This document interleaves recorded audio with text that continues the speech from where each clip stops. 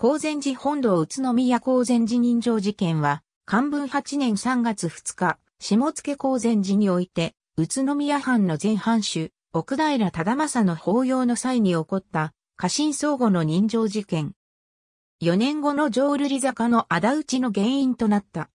人情事件が起こったのは、宇都宮藩前、藩主、奥平忠政の死去より14日が経過していた、漢文8年3月2日のことである。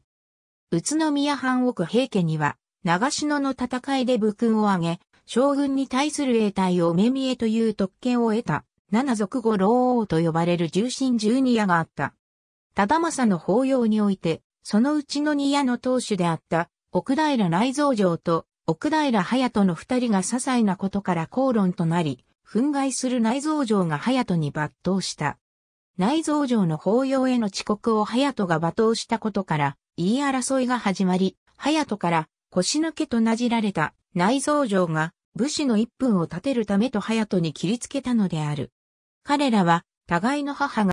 武人肌の隼人から警部されていた文人肌の内蔵城が下付高前寺における前藩主、奥平忠政の葬儀の場という大事さを顧みず、度重なるメンバーに耐えかねて抜刀した。ところが、帰り討ちにあって、刀傷をかぶった内蔵城は、万座の法要で一層の侮辱を受けた。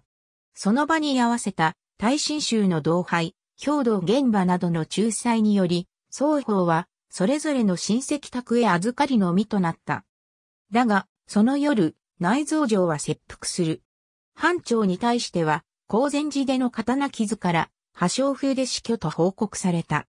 前種の法要の場での重臣同士による人情事件でありながら、藩の裁定は一向に定まらなかった。仲裁に入った兵道現場も新しく、藩主となった奥ピョンチャンローに喧嘩両成敗を進言していたが、容認されなかったという。一方、実居閉門中の隼人には、処分が下る前に切腹して、謝罪の意思を示すよう親族の長老が説得に赴いている。当の隼人も観念していたが、隼人の老夫、藩祭が癌として跳ねつけたという。結局、藩の処分は、事件から半年後の9月2日に下された。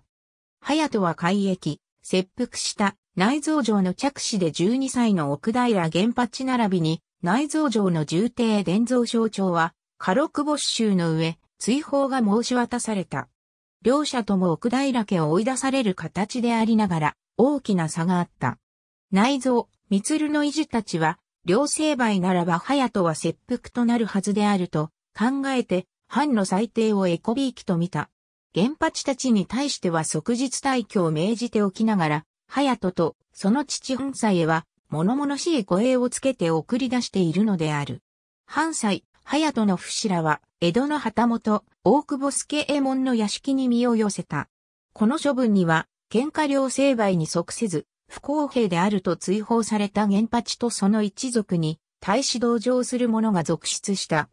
中には、奥平家を見限って、浪人の身となる者さえ現れた。こうして、原八の与党は、敬拝は元より重臣の指定までもが含まれる、一段となった。源の81党は仇討ちを誓って、宇都宮を退転し、3年余りも私服して、漢文12年、江戸の武家屋敷に潜伏する敵を70人余りの大集団で襲って、隼人らを撃った原八に同情して自ら浪人の身となって、原八の助立ちを買って出た、主な奥、平家の藩士は四十数名に及んだ。仇討ちの作戦計画、立案、実行の首謀者は、桑名頼母という知られざる地望の死であったという。ありがとうございます。